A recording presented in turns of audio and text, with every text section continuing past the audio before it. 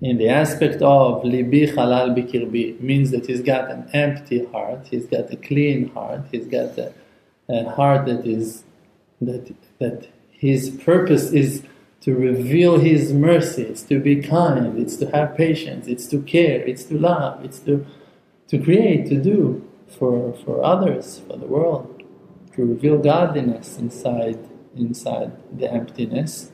So he Yuchal Lida Atidot. He'll have the power to know what will happen in the future. Everyone wants to know what will happen in the future. Today, someone came to me and asked me, I have an idea of a business. Can you tell me if it will be successful or not? Even if I would know, I wouldn't tell you.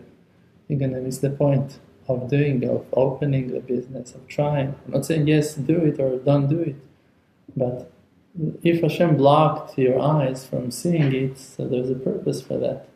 The main free choice of a person is to serve Hashem Yitbarach in those twilight zones, in those gray areas that you don't know for sure. If you know for sure, so you don't have free choice, it's clear, I know. So you cannot be rewarded on those things.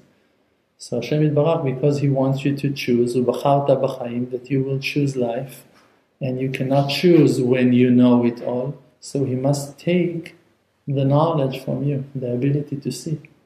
So to know futures is something that it's it's it's complex. So to who Rabbeinu is saying that Hashem will give that power to know the future to a person that his heart is clean. Because if your heart is not clean and you're going to know the future, you're going to twist things because of your desires, because of your will to succeed, because you must have money, you must have success, you don't want that person to hurt you, you're afraid. But when your heart is clean, so all of your will is aimed to Hashem, and you're ready to nullify yourself completely to Him, and you want only what that He wants. So Hashem can tell you also what will happen in the future, and it won't damage you. The reason that he's not telling us the future is because he wants us to have the free choice. It's just a temporary world that in this world, in this period of time, we have a mission. What's the mission? The mission is only not to forget the Creator, to remember that it's all He, never to fall in the trap of all of those coverings, of all of those hustles, hustles.